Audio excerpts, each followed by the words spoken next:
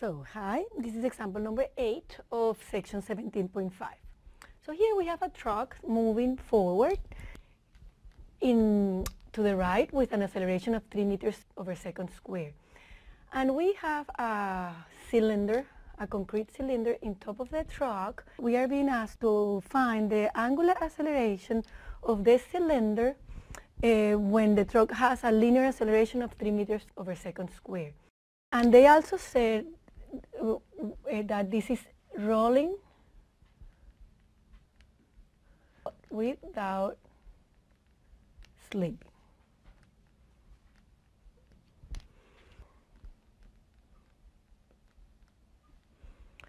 First of all, we will do our free body diagram and our kinetic diagram, and we will do our equations of motion between those two, with those two diagrams. So the first thing that I do is free body diagram of my cylinder. So what forces do I have? I have the weight, and the weight will be 500 kilograms times 9.8, which is the gravity. Then I have two forces in the contact point, right? I have a normal force, and I have a friction force. Remember, that because we have the condition rolling without sleeping, these two forces are independent. When we have the condition of rolling without sleeping, we know that force is less than the kinetic uh, friction coefficient times the normal. But since it's less, we do not know exactly how much less. But we know that uh, they are not equal. So we do not, we cannot relate them. So those are two different unknowns. So here, let's call this point, let's give them, uh, give it a name. Let's call this point A.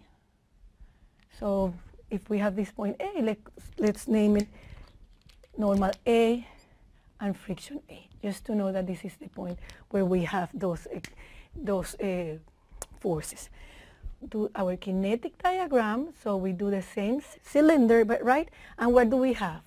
We have an acceleration let's say, since our truck is moving forward, we can imagine that we are, the cylinder moves forward as well. So we have mass times acceleration, and then we have a rotation. I can imagine that since uh, the, the truck is moving forward, it will rotate to the back. So I will write my angular rotation over like that. So I will have an inertia over that center of mass times alpha. And that alpha is the, the variable that I've been asked to find. Equations of motion, equations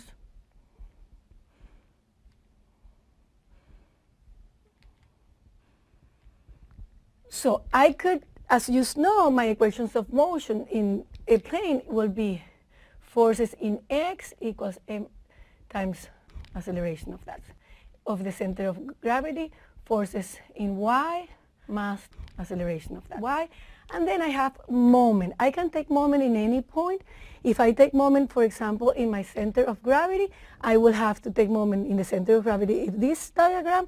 And in this diagram, if I take moment, I will have the force A as an unknown. So I will decide, since I'm not being asked to find those two forces, I will take moment of the external forces in point A. So I cancel those two forces. So, and that will be, you remember that I, there are several ways to write the kinetic moment or the moment of the kinetic forces. And one way to write it is the inertia about the center of mass times alpha plus the, the vector from that point that I'm taking moment about, which will be this point, and this is our g, right? Cross mass acceleration of that point. So those are my equations. The one that I will use is the last one because the other two will give me those forces that I don't want to find. First of all, I have to find the inertia. And you remember for a cylinder, it's just mass times radius square. The mass is 500. The radius is 0.5.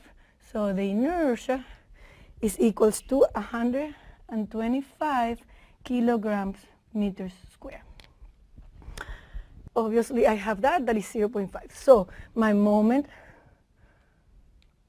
and take moment right here at this point, and these two forces do not make any moment because they, they don't have a distance, and this one, the weight goes through, so I, have, I can say that the external moments are zero and are equals to that right here.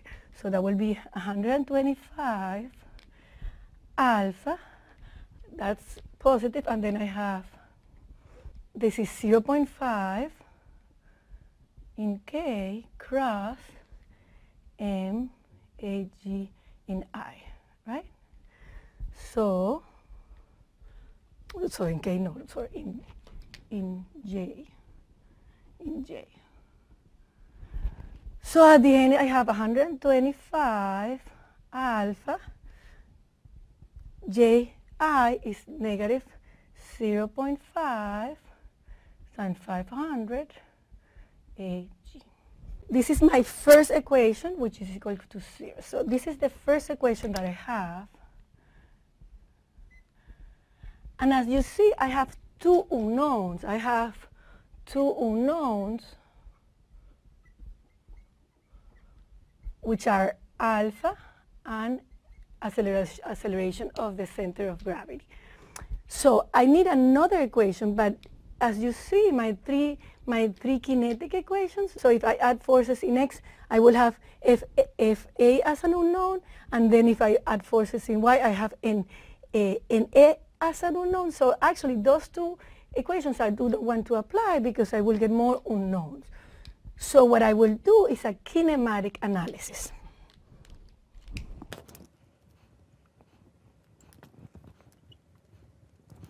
Let me, let me draw it here, maybe so. So I'm going to use a coordinate system fixed to my disk that is in A.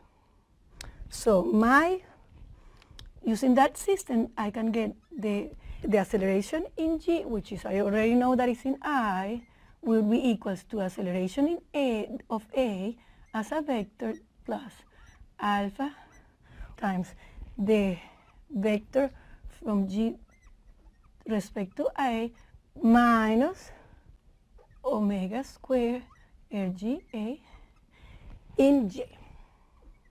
Right? And what is the acceleration in A?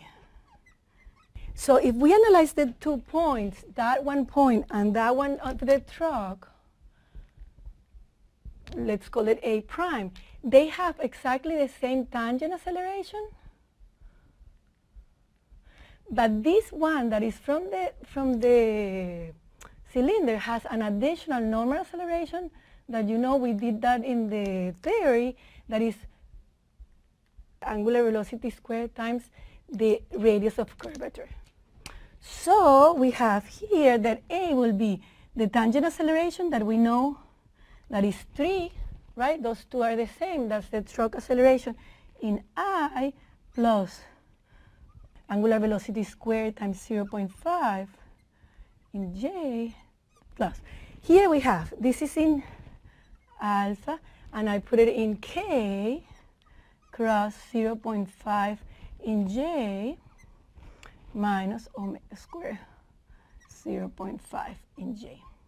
So at the end I have AGI is equals to 3I plus omega squared. So as you see those two cancel out.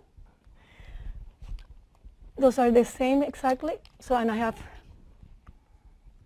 K times I, that gives me a negative I. So it's negative I 0.5 in I.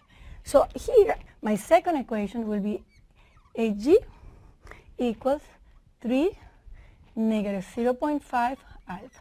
And that will be my second equation.